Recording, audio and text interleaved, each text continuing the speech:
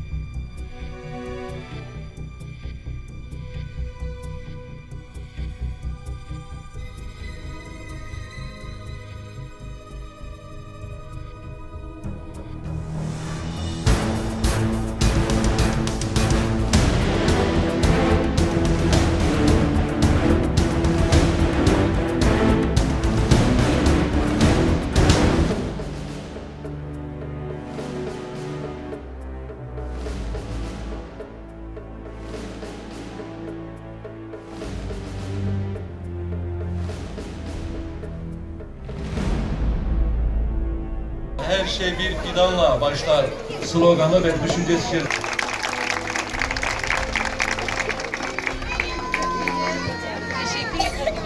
Sayın Belediye Başkanımıza çok teşekkür ediyoruz.